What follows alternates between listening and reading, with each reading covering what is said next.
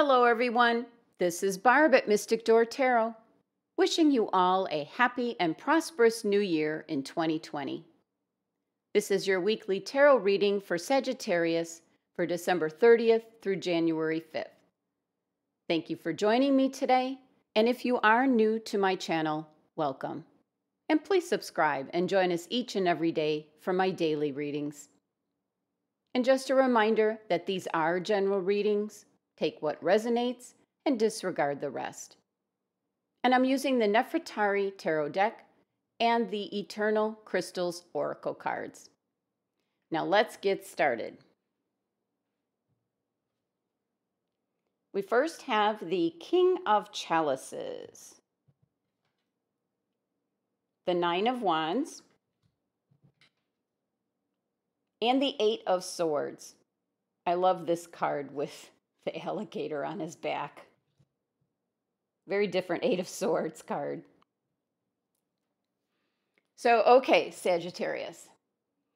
Now you're starting off your week with the King of Chalices, which is also known as the King of Cups. Now, the King of Cups might be an individual that you're dealing with at the beginning of the week, Sagittarius, and this just might be a water sign Pisces, Cancer, or Scorpio. But since the actual tarot card of the King of Cups is Scorpio's card, that might be the water sign.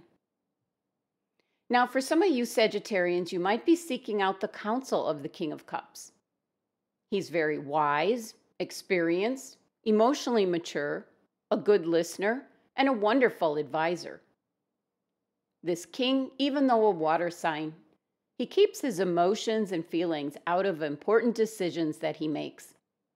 Not that he doesn't care, but he will make rational and careful decisions based on facts and information at hand. That's why so many go to him for advice. Now, for some Sagittarians, this can be your father or a father type figure. It's generally a more mature individual that has a lot of experience under their belt. This can be a priest, an attorney, some sort of legal counsel, marriage counselor, a boss, or a coworker. Whatever the issue is at hand or the advice that you need to obtain, it will be different for each Sagittarian. Now, for some Sagittarians, this card showing up can mean that you might be possessing some of the traits of this king at the beginning of the week, and you're the one that is helping and giving some advice to someone. That's always possible. Now, at midweek, Sag, right at the new year, you have the Nine of Wands energy.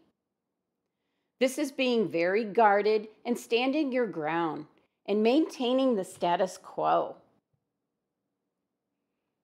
For some of you, this card showing up is serving as a warning that you think you know what to expect and you have your defenses up to protect yourself.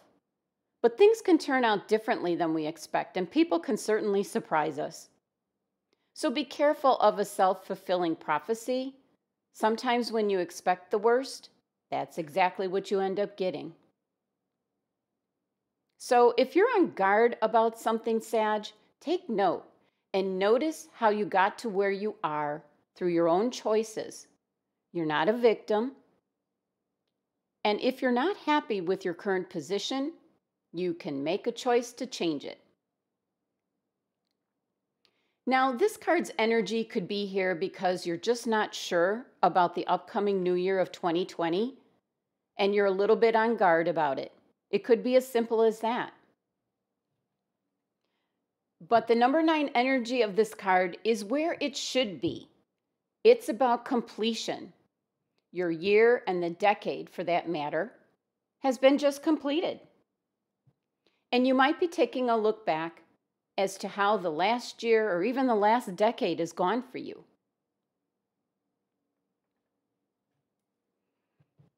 Okay, now towards the end of the week, Sag, you have the Eight of Swords. What's going on, Sagittarius? The Eight of Swords is about feeling trapped, restricted, no control. Now, for some of you, when this card shows up, you're probably thinking that you have no options available, and you may feel unsure by the circumstances in your life or unhappy with others' opinions of you. Most of the time, the Eight of Swords is indicating that your limitations are self imposed. Most of the time, you're imprisoned by your own way of thinking more than anything else. Now, for some Sagittarians, you're just happy where you're at. But for others, you don't want to remain stuck. So you need to use your thoughts to cut through your limitations. Don't be your own worst enemy. And if you were seeking the advice of the King of Cups, you might want to go back and see him again. Maybe that'll help you change your way of thinking in a more positive and productive way. This is a brand new year, Sagittarius 2020, and a brand new decade. Step into it with a confident and positive energy and create the change that is needed in your life. Now, the three card spread here adds up to 18, which reduces to number 9. And even your spread here numerically is telling you there is completion. Say goodbye to 2019 and move forward into the future with a positive and productive energy. Now let's see your crystal for the week. Selenite. It's about peace. So your guides have chosen the crystal selenite for you, Sagittarius, for this week to give you some peace. This crystal can help you to meditate and quiet your mind and raise your consciousness to create peace in your life. Find a safe and quiet space where you can go to clear your mind from any external pressure and just relax. Sit and concentrate, and as you breathe, affirm to yourself and the universe that peace and serenity surround you.